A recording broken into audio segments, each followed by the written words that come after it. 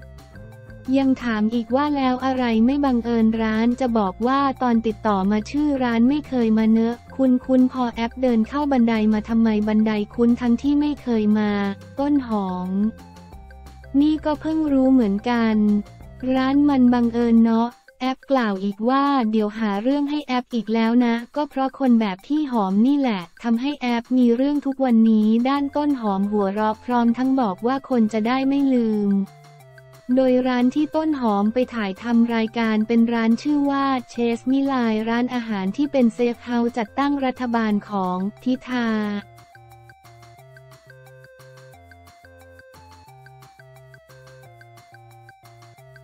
เศรษฐาพร้อมรับนายกรัฐมนตรี เปรียบการเมืองเป็นกีฬาต้องเล่นเป็นทีมพร้อมฟังมติกกบหเศรษฐาพร้อมรับนายกรัฐมนตรีเปรียบการเมืองเป็นกีฬาต้องเล่นเป็นทีมพร้อมฟังมติกกบหไม่ว่าสมการไร้ก้าวไกลข้ามขั้ว เมื่อเวลา 11 นาฬิกา 45 นาทีวันที่ 17 กรกฎาคม 66 ที่พักเพื่อไทย พอทนายเศรษฐาทวีสินประธานที่ปรึกษาหัวหน้าครอบครัวเพื่อไทย และแคนดิเดตนายกรัฐมนตรีพักพอท กล่าวถึงสถานการณ์การพูดคุยระหว่างพักพอทอและเพลกก้าวไกล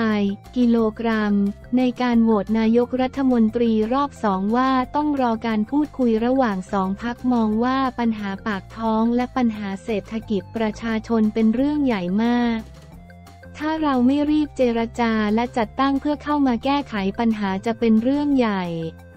และสถานการณ์ก็บีบบังคับให้จัดตั้งรัฐบาลโดยเร็วที่สุด เมื่อถามว่าพร้อมหรือไม่ในฐานะแคนดิเดต นายกรัฐมนตรี